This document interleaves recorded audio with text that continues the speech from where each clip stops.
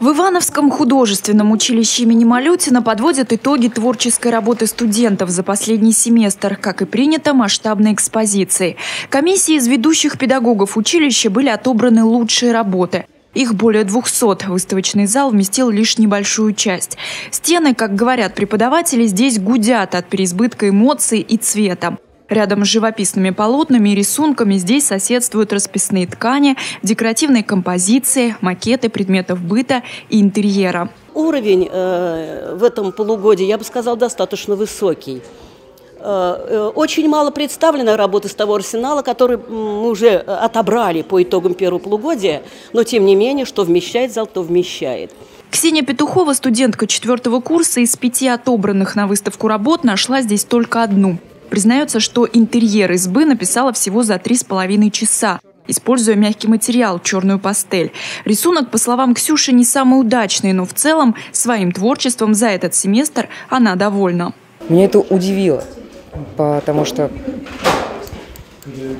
первые два курса я вообще была в конце списков в плане оценок. А, и тут внезапно отбирают много работ для выставки. Неважно, что не все выставили, может быть, потом выставят. То есть я хотела бы поблагодарить очень преподавателей, которые много дают на самом деле.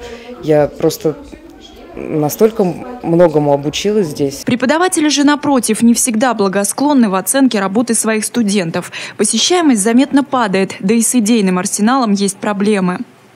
Причина, очевидно, вот в некоторых сугубо формальных установках по отношению к контингенту учащихся. Многие из них спекулируют тем, что их практически э, отчислить не могут.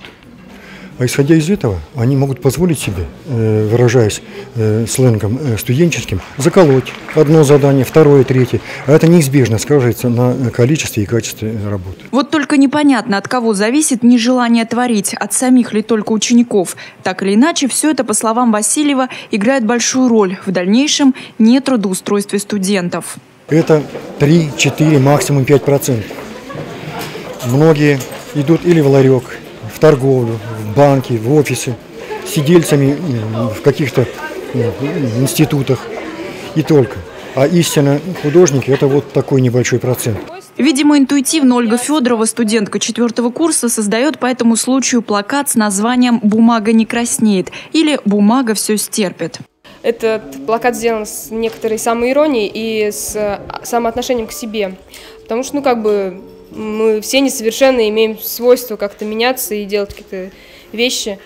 И поэтому в сравнении с бумагой я как-то, ну, ну краснею, что ли. И все-таки не краснеть, а творить и развиваться намерены в будущем студенты и преподаватели училища имени Малютина. А подобные выставки станут реальной возможностью наглядно оценить рост их мастерства. Нина Сардейская, Сергей Куликов, РТВ Иванова.